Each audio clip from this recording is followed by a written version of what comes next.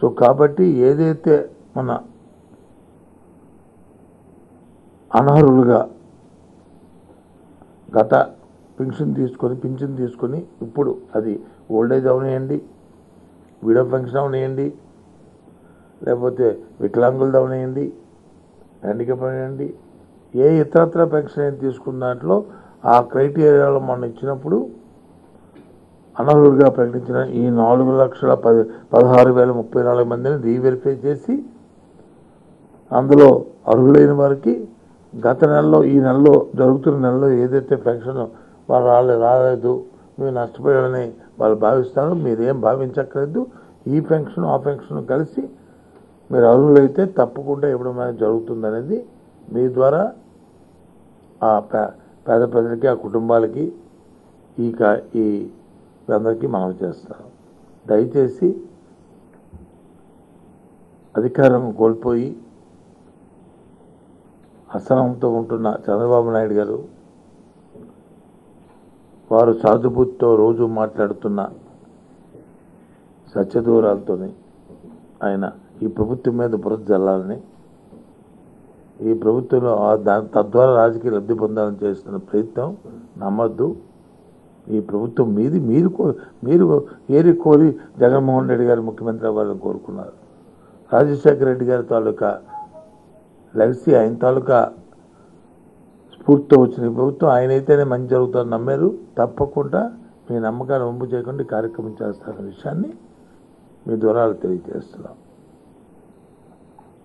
దీంతో పాటు నిన్న మొన్న చూసాం కొన్ని కథనాలు. రాష్ట్రంలో ప్ర- పరిశ్రమలు తరలిపోతున్నాయని. ముఖ్యంగా అనంతపూర్లో కియా మోటార్స్ ఏదైతుందో అది ఏకంగా పక్క రాష్ట్రాలకు వెళ్ళిపోతుందని. ఓ తెలుగుదేశం పార్టీ వాళ్ళ తాలూకు వెబ్సైట్లోనూ వాటిలోనూ పెట్టి చంద్రబాబు నాయుడు గారు స్వయాన మైక్ ముందుకు వచ్చి ఆయన మాట్లాడిన మాటలు చూస్తాం. ఎందుకంటే దాని మీద వచ్చిన వివరణలు కూడా చూస్తాను. నాటి రోజున మా ఫైనాన్స్ మినిస్టర్ గారు కానీ లేదు మా ఇండస్ట్రీస్ మినిస్టర్ గారు కానీ సాక్షాత్తు కేఆర్ మద్రాస్ యాజమాన్యం కానీ వారు ఇచ్చిన వివరణలు మనం చూసాం దీన్ని బట్టి మనకు అర్థమవుతుంది ఏంటంటే చంద్రబాబు నాయుడు గారికి ఆయన అధికారం ఉన్నప్పుడు భగవంతుడు వచ్చి ఒక అద్భుతమైన అవకాశాన్ని మళ్ళీ ఇచ్చారు ఐదు సంవత్సరాలు. ఈ రాష్ట్రాన్ని అభివృద్ధి చేయమని చెప్పి. ఇస్తే సుమారు రెండు లక్షల కోట్ల రెండు లక్షల కోట్ల రూపాయలు. అంటే రెండు రెండు కోట్లుగా రెండు లక్షల కోట్ల రూపాయలు ఈ రాష్ట్రాన్ని అప్పులు పాలు చేసి దివాలా తీసే పరిస్థితి రాష్ట్రాన్ని తీసుకొచ్చి ఊరికినే రోడ్డు పక్కన ఉన్న వెళ్తున్న వాళ్ళని తీసుకొచ్చి సూటు బూట్లు వేసి వాళ్ళకి సమ్మిట్లు అని చెప్పి ఇచ్చిన పేపర్ని ఇస్తూ ప్రతి సంవత్సరం కూడా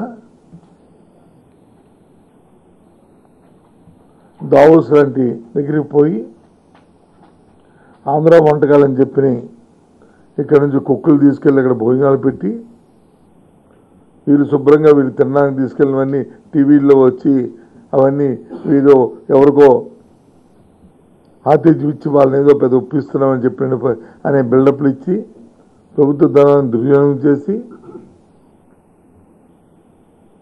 ఐదు సంవత్సరాలు చేసిన కార్యక్రమం ఘనత అందరికీ తెలిసిన విషయమే. ఆ రకంగా ఆ సమయాన్ని అంతా వృధా చేశారు. ఇచ్చిన అవకాశాన్ని సద్వినియోగం చేయకుండా అప్పులు పాలు చేసి చేశారు.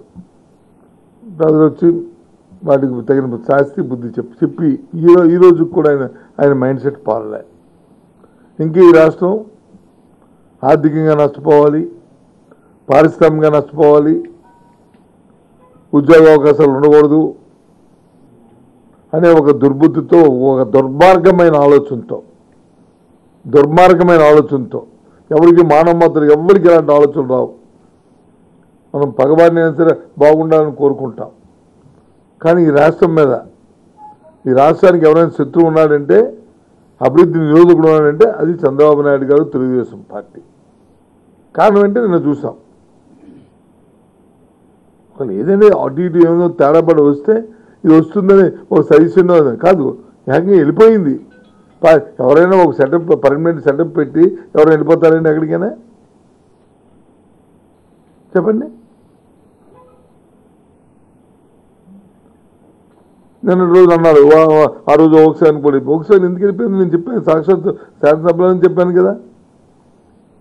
నీలాంటి నీ నీలాంటి వాళ్ళు నమ్మి చంద్రబాబు నాయుడు నమ్మి నేను నాలాంటి వాడు అమాయకంగా నమ్మి ఇతను వచ్చి ఆ సూష్టతోని పెంచుకొని ఇంటికి అల్లుడి కింద వచ్చి అతన్ని ట్రీట్ చేసి కార్యక్రమం చేశాడు.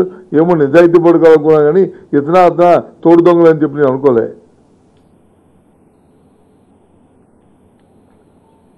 ఆయన అడిగితే సిబిఐ ఎంక్వైరీ కూడా చేస్తాం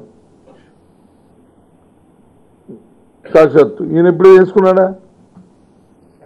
వాళ్ళు ఇచ్చిన రిపోర్ట్ కూడా మనం చూసాం ఇవాళ ఎందు ఎందుకు ఆతృతగా కేఎం మోటార్స్ పబ్లిక్ అంత అంత ప్రచారం చేయవలసిన అవసరం ఏమొచ్చింది? తప్పు కదా? నువ్వు బాధ్యత వ్యక్తివైతే ఆ కార్యక్రమం చేస్తావా? ఇప్పుడు ఆలోచన చేసావా అసలు? ఈ రాష్ట్రం పట్ల రాష్ట్రంలో ఉన్న ప్రజల పట్ల నువ్వు రాజకీయంగా ఉన్న నువ్వు ఆలోచన చేసావు ఎంతసేపు రాజకీయాలు అవి తప్ప? ఏదో విధంగా ఈ ప్రభుత్వాన్ని వచ్చి ఆ ప్రజల్లో బదనాం చేయాలి నీకున్న ప్రచార సాధనాలతో వచ్చి మా ఆలోచనతో చేయాలని తలంపే తప్ప రాష్ట్ర ప్రయోజనాలు నీకు పట్లే అది రోజుకొకటి గృహ ప్రచారం చేరడానికి ప్రయత్నం చేస్తున్నారు. నువ్వు ఎన్ని చేసినప్పటికీ కూడా ధర్మం జయ ఎప్పుడు కూడా జయిస్తుంది నిజాయితీ నిలబడుతుంది. అబద్ధాలు ఎప్పటికీ అవి కొనసాగవు. అధర్మమైన కార్యక్రమాలు ఎప్పటికీ అవి నిలకడగా ఉండవు. ఇవాళ మనం చూస్తున్నాం ప్రతిదిన. గత గత ఈ ప్రభుత్వం వచ్చిన ఏడు నెలల కాలంలో ఎన్నో అద్భుత ఎన్నో మంచి మంచి కార్యక్రమాలను ప్రజలకు అందించి ఇస్తుంటే ఏ విధంగా మట్టి పోస్తున్నారు ఏ విధంగా వాటి మీద తినే దాంట్లో మట్టి ఎలా వేయాలో అని ఆలోచన చేస్తున్నావు నువ్వు? ఆ కార్యక్రమాలు చూస్తున్నాం. ఆయన బుద్ధి చూస్తున్నాం. ఈ రాష్ట్రం ఏ విధంగా కూడా ఒక్క ఇంచు కూడా ముందుకు వెళ్ళకూడదు అభివృద్ధి చెందకూడదు. ఎవరు కూడా ఇక్కడ పెట్టుబడులు పెట్టకూడదు. ఎవరు ఈ ఉన్న నిరుద్యోగ యువకులకు వచ్చి ఏ ఉద్యోగ అవకాశాలు దొరకకూడదు. ఎన్ని ఇబ్బందులు పెడుతున్నా ఈ నాలుగు లక్షల మందికి కొత్త ఉద్యోగాలు సృష్టించారు. ప్రజల వద్దకే పరిపాలన తీసుకెళ్తున్నారు. గుమ్మ ముందుకే పాలన తీసుకెళ్తున్నారు. ఏ విధంగా దీన్ని అడ్డు పెట్టాలి అని రోజు ఒక ఆలోచనతో ఆయన చేస్తున్న కార్యక్రమాన్ని మనం చూస్తున్నాం. ఈరోజు మీ ద్వారా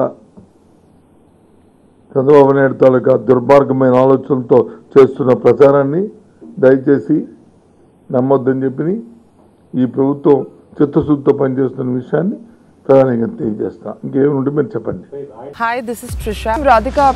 కృష్ణమూర్తి నేను ఆలీ మాట్లాడుతున్నాను You're watching E3 Media Network. E three media network E three media network E3 Media Network. E3 means entertainment entertainment, entertainment.